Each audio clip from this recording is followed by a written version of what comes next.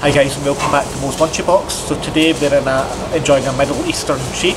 So we're on Lazord which is just around the corner from Jamaica Street in Glasgow city centre. Really small Syrian place.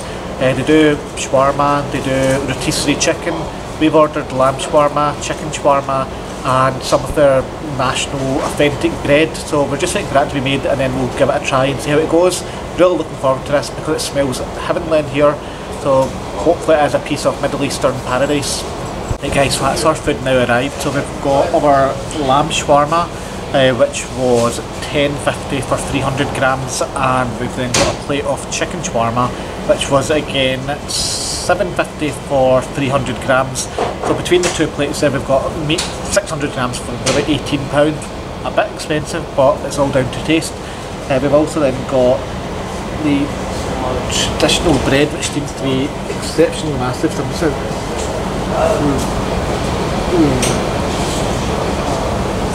I didn't expect that to be like so big. So that's the samod, the traditional bread that you eat it with.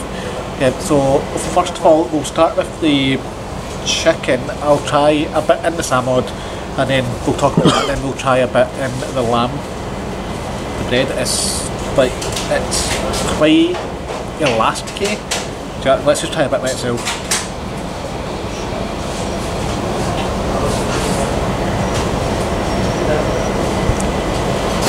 So the bread is pretty much just like a tortilla wrap if I'm honest, so not a lot happening there.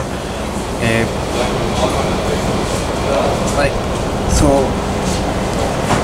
we'll just try a bit of the chicken shawarma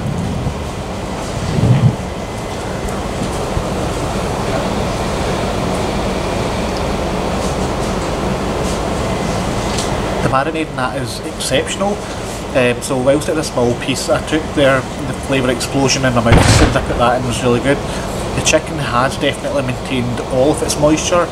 Uh, it's nice, it's soft in terms of when you want to put your teeth through it, it goes straight through, it's not chewy, but it's got a nice bounce to it. Um, fresh, you can tell it's very very fresh because of the moisture in there and the really strong flavour of the chicken. The marinades can only guess that that's some whatever they would have in it, on it in Syria. And really nice flavours really nice combination. It definitely works. So I think that's definitely worth it. Is the bread really adding anything to it? I'm not sure. Like I say, it's literally just like a tortilla wrap. Uh, I'll now just quickly try the lamb. So the lamb's quite dark, which again insinuates to me it's going to be high quality. Uh, there looks to be plenty of marinade on that, so again, fully expecting when I put this in my mouth to get that flavour explosion, which the chicken provided, so let's go for it.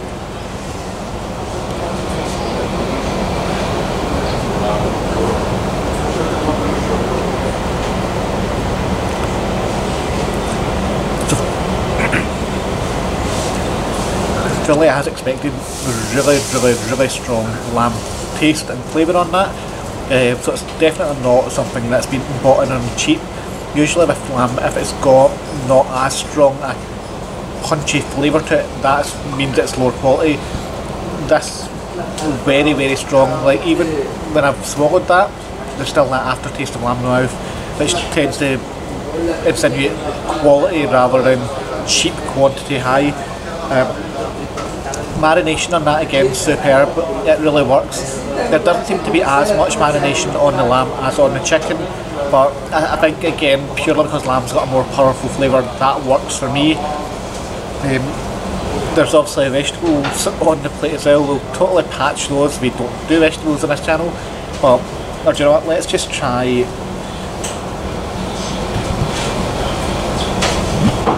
think that's even a pickle, pickle, we'll patch the pickle uh, tomato just to make sure it's fresh. So the tomato works, it is totally fresh, uh, nice fresh juicy so yeah totally commend that. In terms of quality of the food the chicken shawarma I'd score a solid 9 out of 10 because it is really really good. The lamb again solid 9 out of 10 uh, fresh, well marinated, nice. Price wise, I would say it's price is probably more expensive in places like Shawarma King, so maybe an 8 out of 10 for that. Location, 10 out of 10 because it's right in city centre, minutes away from Central Station.